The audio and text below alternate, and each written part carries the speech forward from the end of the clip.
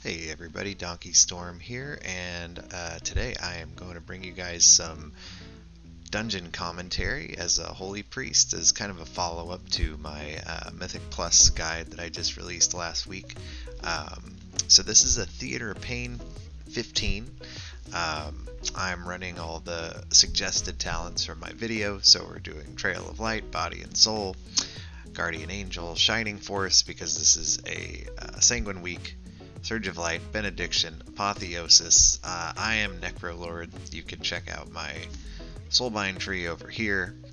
Um, and uh, we have a, a, very meta comp of a Demon Hunter tank, two mages, a Shadow Priest, and a Holy Priest. So we're running four Clothies and kind of a interrupt heavy dungeon, but this is a, a 15, so um, shouldn't be too bad. I didn't want to do anything too crazy uh, for my first one of these because I wanted to kind of give you guys an idea of more like the healing rotation and how it works uh, without everything getting too wild. So uh, we're going to give this a try. Hopefully you guys like what you see, and if you do, um, please like, subscribe, follow, all that great stuff, and uh, you can see more of what I got coming for you. So here we go. This is uh, Theater of Pain 15.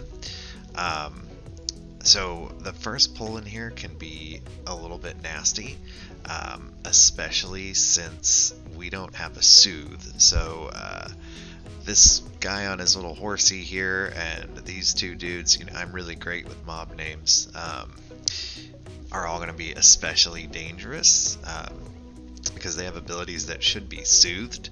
Now this is a tyrannical week, so um, it shouldn't be too too bad. Um, and I do think we're gonna have a, a lot of DPS here, but I, am still prepared to like heal my socks off because these things can really hurt. So this is like our fifth countdown for some reason. I can't quite remember why. Um, but I think our tank is going to YOLO pretty hard into all four mobs. Um, so I'm going to start stacking up my flash concentration right away. He's getting trucked pretty good here. Uh, I want to get that five stacks, and my uh, UI freaks out there for just a second. Um, so as you can see, I'm trying to spread my heal spell uh, around. I'm trying not to heal the same target too many times, and then um, that way my Trail of Light talent is, is doing a little, a little bit of extra work. So this is that pulsing, I'm gonna just pause here for a quick moment. So this mob, let's back it up here. Uh, this mob does a pulsing AoE um, that needs to get soothed by a druid or a hunter or a rogue or a whoever else can do it, and uh, that would be a non-factor. But since we don't have any of those classes, uh, I'm using Divine Hymn here, and I'm okay with that because I'm probably not going to get a chance to use it on the boss anyway. There's more movement on the boss. Uh, I don't have to move here, so it's fine for me to plant my feet and uh, and cast a Divine Hymn to keep everybody topped off because it's a little bit wild with no uh, with no soothe and a lot of pretty squishy people in our group. But luckily, we do have a pretty good amount of DPS going out here. Everybody's doing about 8 or 9k. Uh, mobs are dying pretty quickly. Um, so I'm feeling I'm feeling pretty okay with how this went. Um, I'm using my Surge of Light procs to refresh my flash concentration stacks, and as you can see, always tracking that uh, here in the middle of the screen. So this is the boss pull, we're lusting, um, keeping those flash concentration stacks up, trying to get some some dots and a little bit of damage off on these guys. Um, there is a buff that can be uh, purged off of these guys that you should watch out for as a priest. Um, we've got another priest too who seems to be doing it even more quickly than I am. Um, so again here, since we don't have a soothe, this boss has uh, her Dessia has uh, an ability that she'll fixate a person and can really take you down quickly. Now, in a in a real serious group, you'd want to um, soothe this, and then again, it's a non-factor. But for us, we're just kind of YOLOing in here and and just running away as she fixates. Mage maybe not running away quite as quickly, so he ice blocks. That's that's great, and then she just sort of stammers off after someone else. Um, there's not a, a this boss is a little bit easy. Like anytime I have a hard time with this boss, I'm always pretty concerned about how the rest of the dungeon's gonna go. Um, because this boss is almost like glorified trash.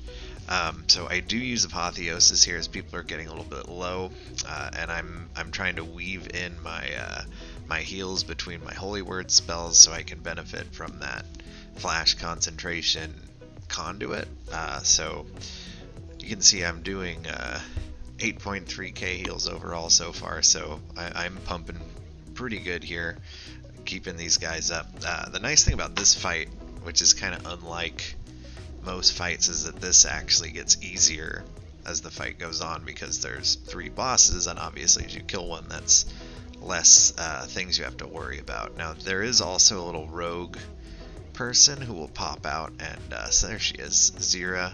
Um, as a priest, you can use Holy Word Chastise, or you can run over and fear her uh, to get that off someone. I know I used Chastise once during this fight, but it all happened so fast, I think I missed it. Uh, but that's something to watch out for. You definitely want to break people out of that, because it's a long, long, long, long stun. So yeah, this thing's sort of winding down here. I'm cool with just burning my mana on this fight as well because uh, you're going to get a nice long RP. So I'm going over to fear this guy and somebody gets to it first. Uh, you'll get a nice long RP chat at the end of this that you can drink to pretty much full. So I don't really care about just blowing my whole mana pool here because I'm going to get it all back right now. Uh, so I'm starting to drink and we have our lovely RP before we get sent down into the hole. Um, now I tried to refresh my stacks here, and I almost got the cast off, but I let them fall off, so bummer, bummer for me. Um, but, I mean, it's worth getting a full mana bar back. It won't be that hard to get them back up. So we're on to this Executioner Varuth. This guy's probably one of the more healing intensive ones um, because he's going to decrease the healing that you give people by 50%. So I'm working on getting my stacks back up here. I'm stacking for the fear and then running out for the debuff. You can see it went on me there. Um, I probably could have dispelled that guy that got feared too. I didn't notice that. Um, but anyway, no harm done because there's nothing to get feared into in this room anyway. Um, so this guy's getting blown up for just making sure we stack every time he casts his fear and then immediately moving out. So uh, for this um, for this champion, I tend to take the overflowing chalice uh, just because it'll mean pretty much no mana problems for the rest of the dungeon. It's nice to get it first in here. Um, Champion's Brand, if you have no mana problems, you can you can always go for that for a little bit more oomph in your heal and damage but I'm going to go with Chalice here, being kind of a baby about my mana. So we're going to move on to these guys. Um, this pull seems pretty easy, but you do have to watch out for this Arbalest. He can he can chunk you um, pretty quickly. So you can see he's well, they're all dying pretty quickly here. Um, so not a ton to say here, just remembering that I'm, I'm spreading that heal spell around. I'm trying not to spam it, so you can see I'm sort of moving up and down my, uh, my health bars here to keep that trail of light rolling um, pretty much regardless of what, what type of pull it is. And then when the opportunity is there, I'm to Holy Fire and, and smite my heart out until these mobs go down. So we're to pull the champion and this uh, little lieutenant guy, um, which isn't too bad. Sogadon doesn't really do a whole lot. He'll he'll suck you in like this, chain you up. This stuff tends to die pretty quickly, and since this is not fortified, this is not a incredibly dangerous thing to do. We do have one. Our Shadow Priest gets dumpstered by something and manages to live. Um, so I use Apotheosis to get him back up. Um, so Anyway, Sogadon's almost dead. Then we'll be able to focus on the other guy who's really a little bit more dangerous. Um, and then we're actually going to head out of this wing. So we wanted to get the, the buff from the lieutenant, and then we're heading out to uh, another wing.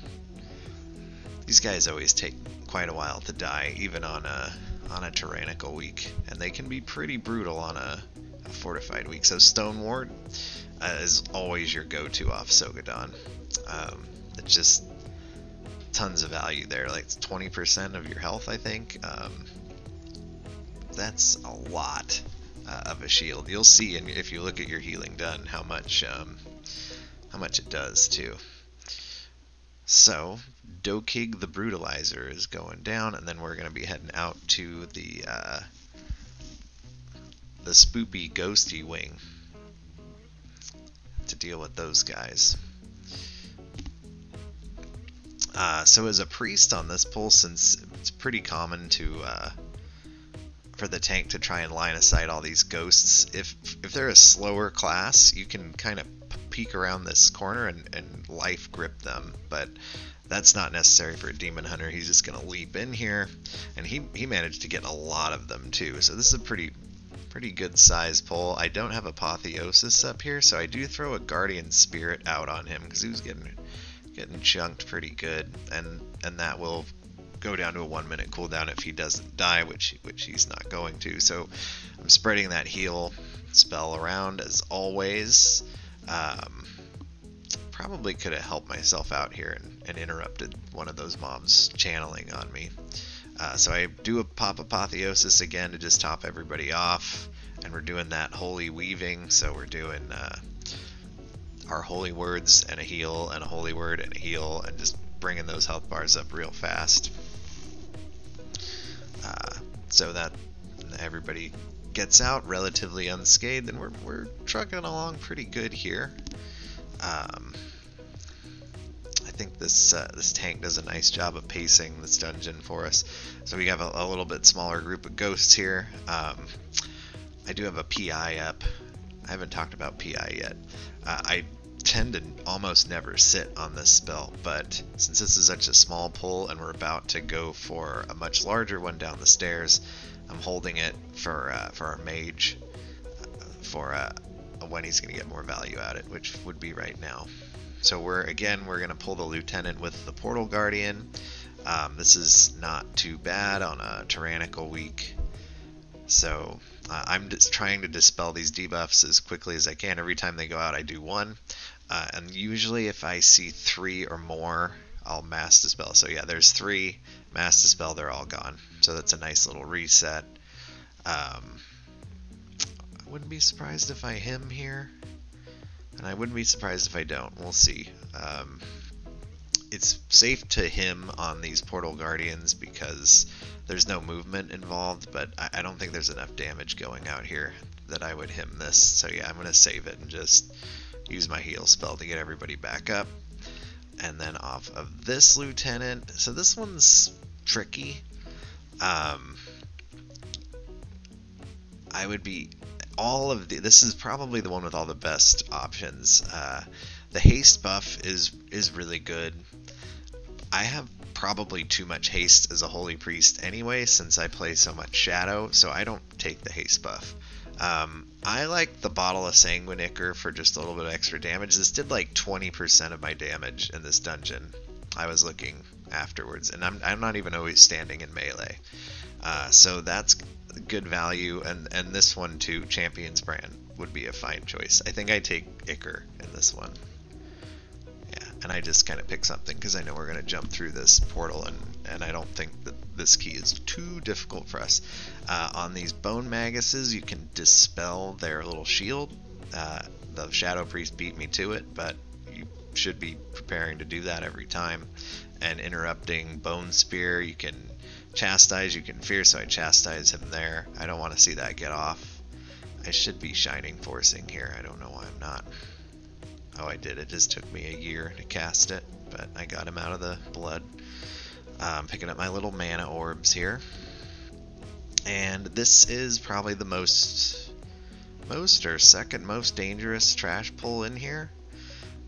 uh, this thing you gotta have some some kicks. So uh, Bone Magus, you gotta kick the Bone Spear. The Maniacal Soulbinder does a, a nasty cast as well, and then the Portal Guardian does his pulse thing. So luckily this group was smart. These guys held their DPS cooldowns. These guys are going to get absolutely annihilated. I don't know if I even need a cooldown here, which is pretty rare. Let's see.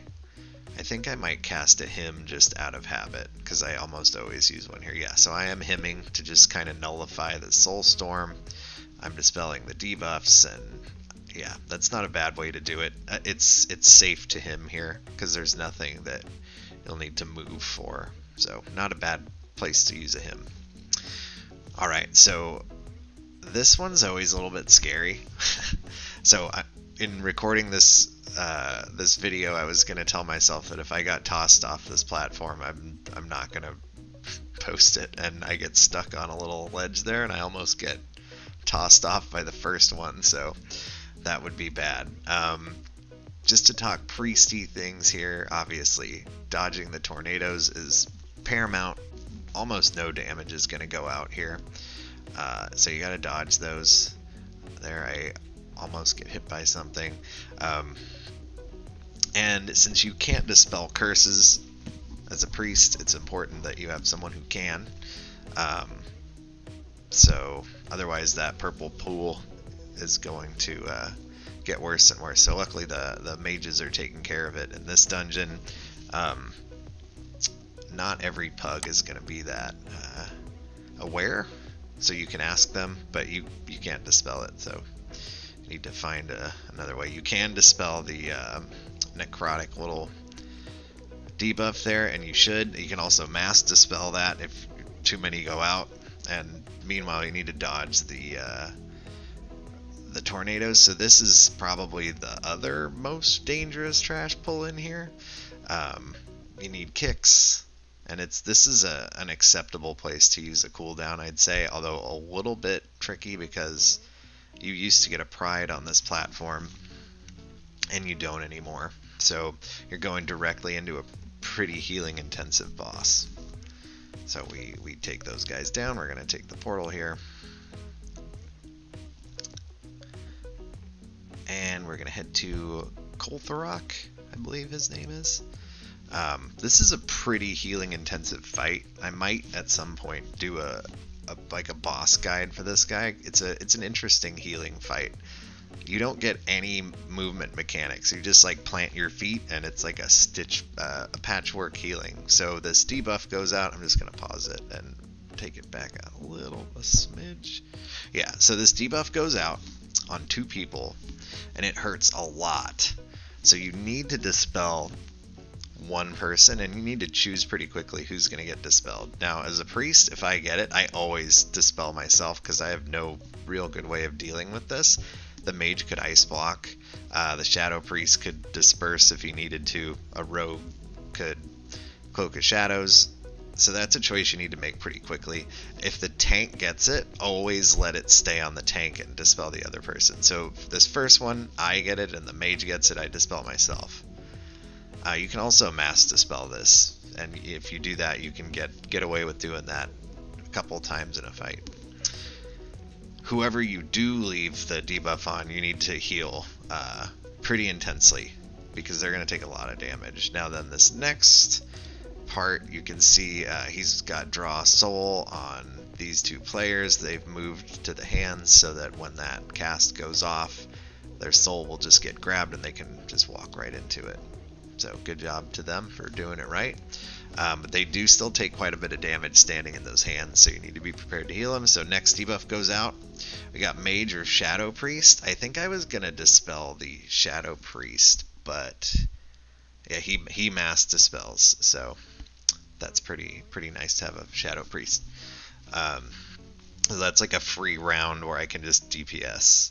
Okay, now these guys are standing in their hands. You can see they're taking pretty good damage. Um, and then it's just rinse and repeat from there.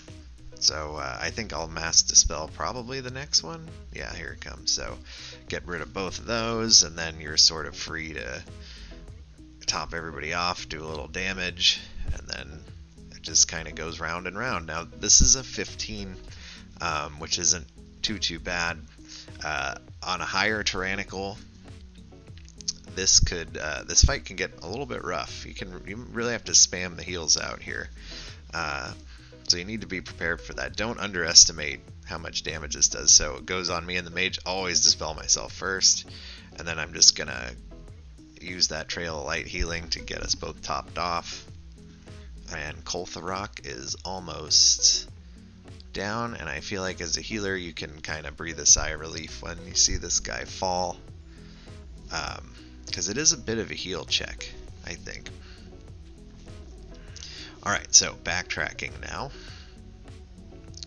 I believe we're going to go to the Barrow of Carnage. Um, I was just noticing that we have two Necrolords and nobody bothered to click the banner, but hey, live and learn, I guess. Uh, I, I, guess I kind of assumed the other guy was going to do it, but... So we're pulling the entire room here. Uh, I think it's...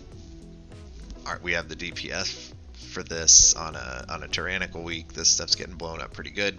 Uh, I'm keeping these blighted sludge spewers uh, focused so that I can chastise one or fear them if I need to. So I think I, I chastise this one, although it's hard to see because I'm like back up against the wall. But you don't want that cast to go off. However, that cast goes off and. Uh, again, this is tyrannical, so it's not the end of the world. On fortified, it could be the end of the world. So we need kicks. Now this is a group of four clothies, so the kicks are a little bit few and far between here. It's kind of expected that we're going to miss a couple of those, um, and we're going to just have to have to heal through it. But one of the nice things about Holy is that you have the the healing power to do something like that. So uh, we got two of those same mobs in here. You want to keep one I like to just keep one focused, and if I, it looks like a kick's gonna get missed, I'll uh, I'll chastise it, or you can just run up and fear it if you need to. So that one dies in time. This one, uh, we get the we get the chastise off on him. So none of those withering uh, casts go off, and that saves us a lot. Uh, just real quick note here: I'm using um, I'm using my channel to get people there, a symbol of hope, excuse me, to get people, to get some mana back for one, and to refresh people's defensives. There's no reason to not just use this on cooldown, really, uh, in a dungeon.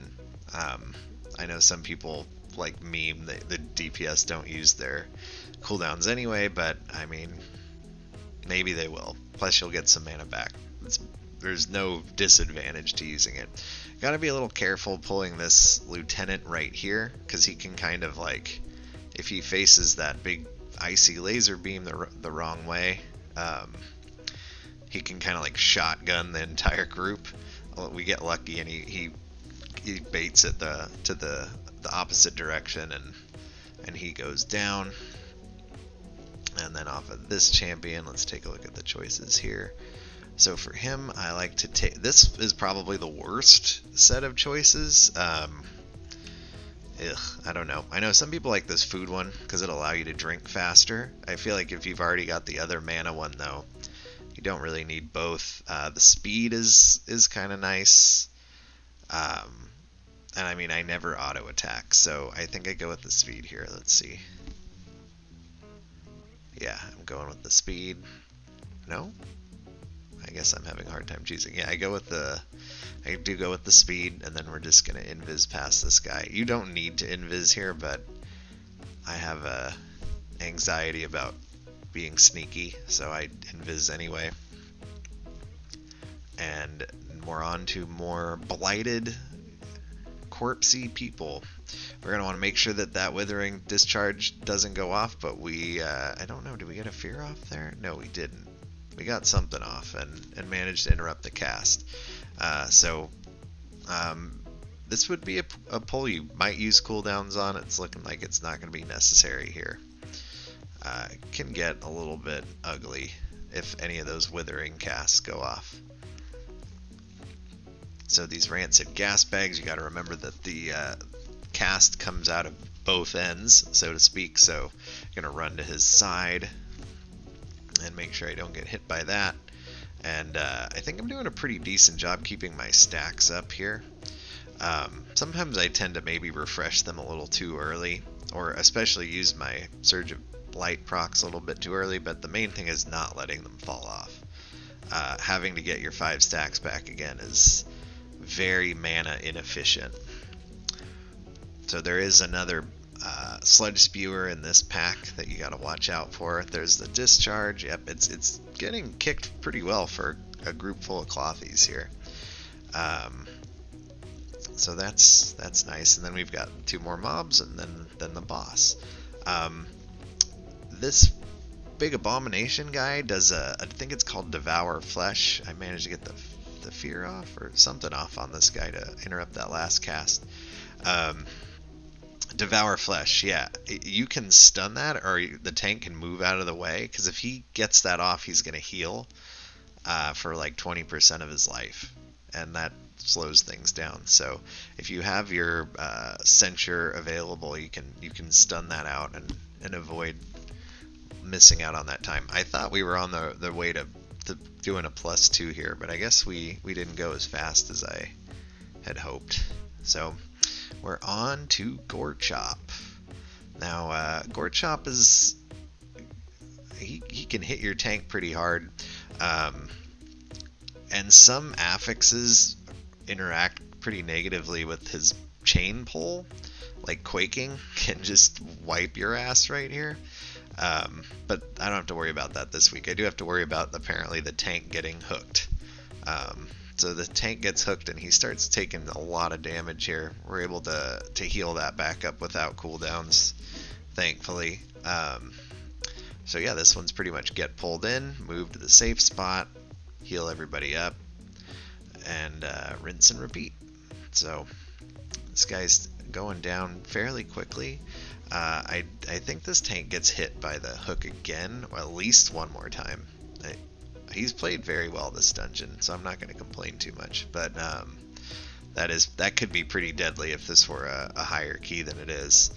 Um, but yeah, let's see.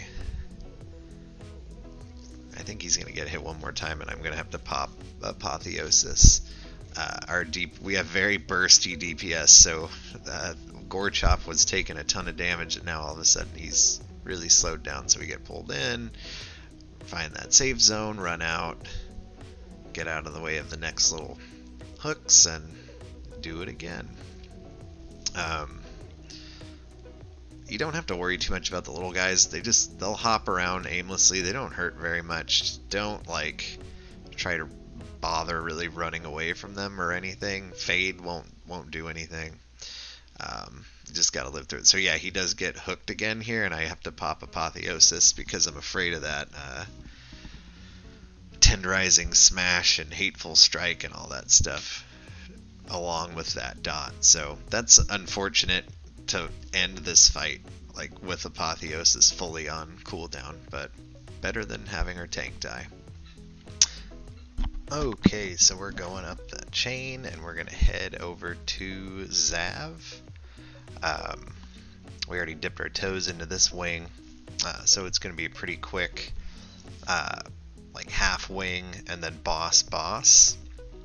And um, don't really like the way we used Lust here, and I we're very close to two chesting this uh, dungeon. I almost wonder um, if we would. Well, we're over by about a minute, so I guess it wouldn't have made much of a difference. But anyway, we end up using Lust on Xav, and I, I would have rather used it on Mordretha. Anyway, also, I didn't realize the tank had like engaged this mob already, so me and the other Shadow Priest both get boofed by that cast, and luckily on a tyrannical week you can live through that. Um, so Heavin the Breaker is going to do the interrupting roar.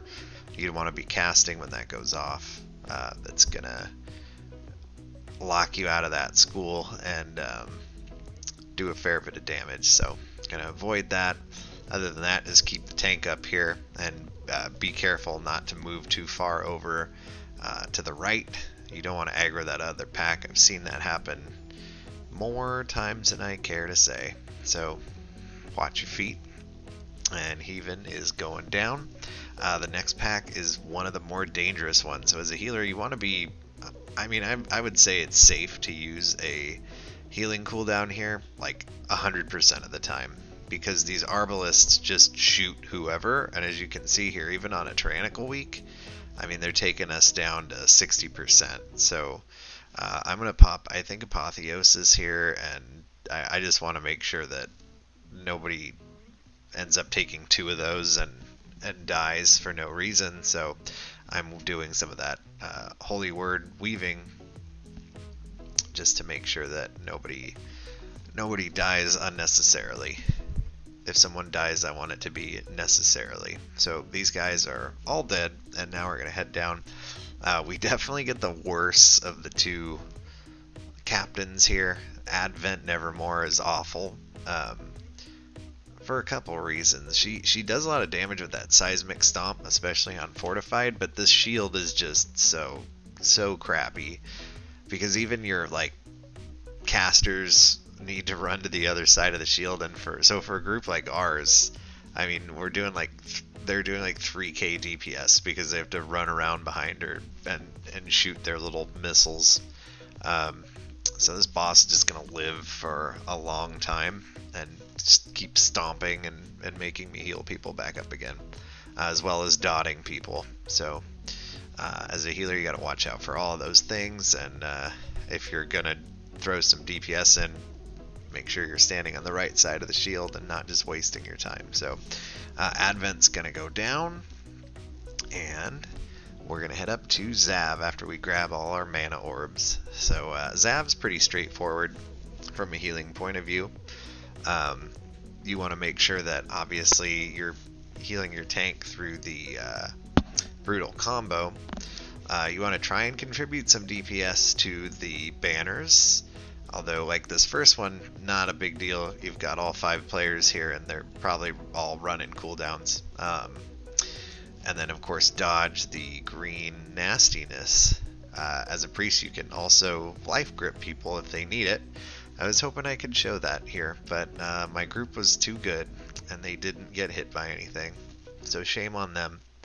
Um, so two DPS get tossed down, uh, and then a banner spawns. Well, then a then a combo, then a banner.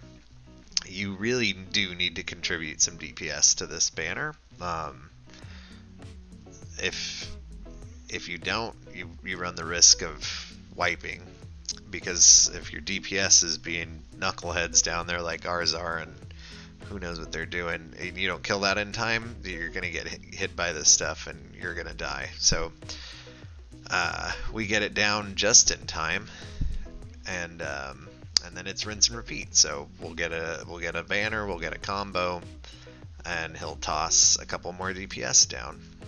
So there's the banner. Uh, we're gonna try and and contribute a little DPS there to uh, to help get that down as quickly as possible. We're going to make sure our tank doesn't die from the combo and, uh, try not to get hit by stuff. And that's really this fight. This cast especially, it'll lock you out of your uh, Holy School or silence you if you get hit by it. So you don't want to get hit by the big circle. But I mean, you really can't afford to get hit by any of it. Uh, he's going to throw two DPS down and, we got a banner. So we want to contribute some deeps to that thing. Even though he's at 7%, I don't think it would be a, a good call to try and, and tunnel boss here. Uh, that could be real iffy on a tyrannical week. So we, we kill the banner to be safe. Uh, and then we're going to go through one more of these. I wanted to pause here because this this mage over here is an absolute monster. Um, because look how close this cleave is to going off, and he's just like standing there because he knows it's gonna die. And I was gonna try and grip him, but uh, the boss died. But anyway, mage wherever you are, well done. You you've made it. You're on YouTube. So with him down, it is just Mordretha to go. She is uh, a little bit scary, especially on a tyrannical week. You want to blow through that second phase as fast as possible, which is why I don't really like that we bloodlusted on Xav. Um, so, for Mordretha, I like to stand in melee. I feel like it makes it easier to dodge the uh, dodge the big beam, and we're we're all talking about who's gonna get the ruby and course, if in a group of four clothies, you know, they all want it. I already have one, so I'm uh, telling these guys they can have mine. And so for Mordretha, we've got Reaping Scythe that's going to do some big dam to your tanks. Uh, you got the beam that you can stand in melee, makes it easy to dodge. And you've got the, the uh, pull in phase one. Um, so phase one in, of this fight is real easy.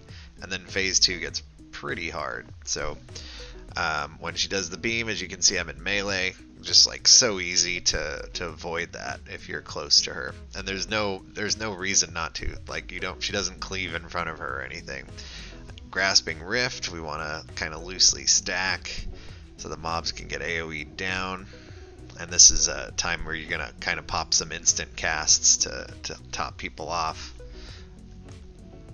and then as she nears 50% this is where uh, many groups will lust here uh, to get through this phase as quickly as possible because she'll add in her other two mechanics. So she's going to be hitting 50% here. Our, our damage in this group is just so bursty. She goes from like 100 to 60 in no time, and then it takes forever to get to 50. Uh, so this is where so ghosts spawn. Obviously, you don't want to stand in their floor doo doo. Uh, and then there'll also be some horsey ghosts coming out of the crowd that will absolutely truck. Uh, so you need to position yourself so you don't get hit by them or the beam. Um, which is not too bad as long as you're looking for it. And then it's rinse and repeat from phase one. Just now we have more uh, more ghosts to worry about too. And uh, I pop apotheosis here as I see the health bars getting a little bit too low. I'm gonna get everybody topped off. And uh, we have our first contestant hit by the uh, by the boars. He manages to live, so lucky for him. Um, and then I can just kind of apotheosis muscle heal my way through uh, this bit of damage. And now at, at about seven percent, the boss is effectively, you know, gonna gonna die. So we're gonna get through this run uh, with no deaths and six minutes to go. It, unfortunate that we didn't get the the plus two, but you know, I'll, I'll take it. Pretty competent group. So, um, that will do it for my first dungeon commentary video. Uh, if you guys liked it, please throw me a like, throw me a sub. Uh, if you didn't, you know, give me a comment. Let me know what you think I could do better for future videos. Uh, I think in the future I will do a little bit higher keys, but um, I kind of like sticking with the pug format because I think a lot of people do pug. Um, I don't know how realistic it is to show like pre-made groups doing super duper high keys uh, or how relatable that is if you're just trying to, to learn a class or get a little better at Mythic Plus. So I think I'm going to stick with this range for now. Um, but anyway, thanks for watching, and I'll see you next time.